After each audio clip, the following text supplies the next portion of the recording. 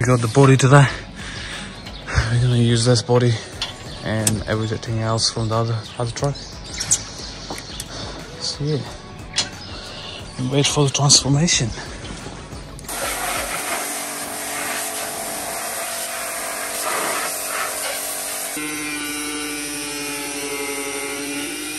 So yeah, we're gonna take out this dash, clean it up, and chuck it in that one.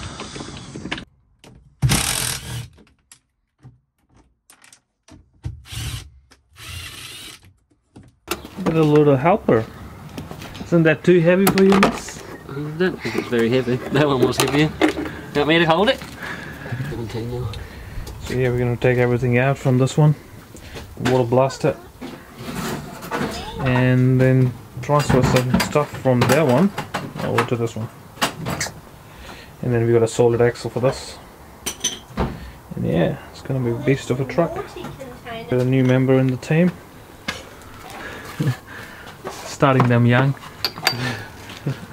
Little helper. A lot of dog shit. A lot of dog shit. so yeah, taking everything out. That's what you gotta say. He's a dog shit everywhere. We just uh, stripped it all out. Gonna vacuum it and a water blast. And yep. Then we start working on it. Be excited for this.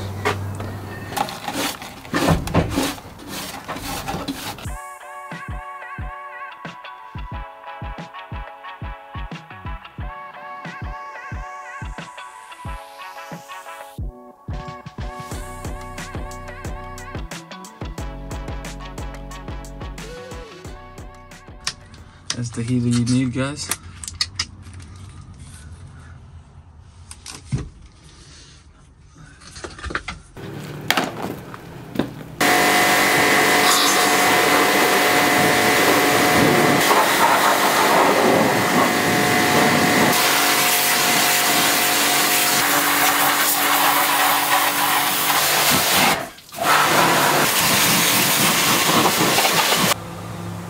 Floor's not looking too bad, we just water blasted it and dried it all up.